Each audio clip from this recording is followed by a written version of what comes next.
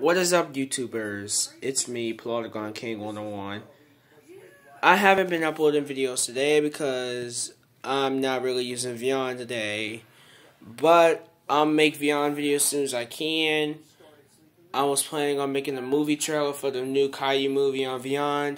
So, in the meantime, Plotagon will still be on session by tonight, either tomorrow, tonight, I guess some, yeah, sometime tonight or sometime tomorrow.